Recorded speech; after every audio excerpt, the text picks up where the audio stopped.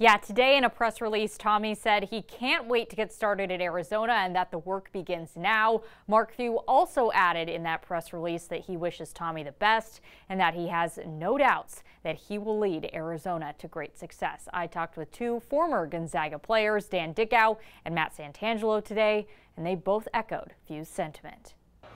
Arizona is going to become uh, a big time power again on the West Coast. There you have it from the lips of Dan Dickau and he would know as he's been around Tommy Lloyd for nearly his whole life.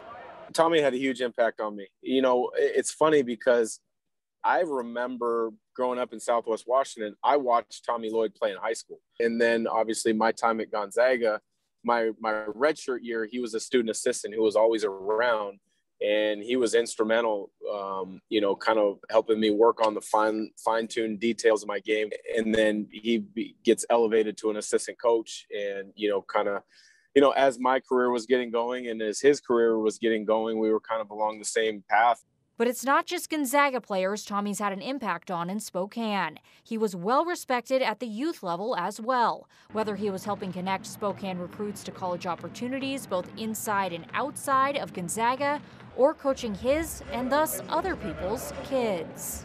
And he would literally be kind of drawing up plays or concepts for you know seventh grade girls or whatever you know whatever the case was because he liked he liked it. He, that's how his mind worked and so I think he was, you know, like most things in Spokane, it's all very accessible.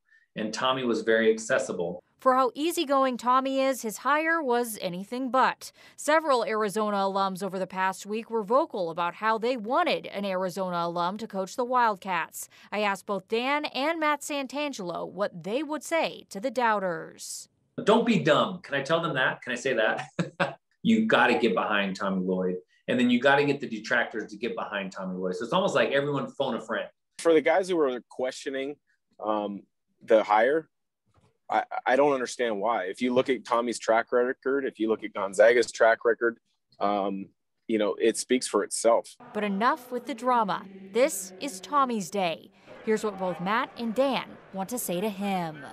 I sent Tommy a text just last me before all this happened last weekend, just saying how like same thing I said to you all, like how much I admire him, how proud I am of him, how excited I am for him and his family. I hope that our paths get to cross again in some form or fashion because I really, really enjoy Tommy Lloyd. He's one of the, the people you meet that you want them to be successful because you believe in them. Tommy, uh, it's well deserved. You've done a tremendous job of leaving no stone unturned to help Gonzaga become what it is.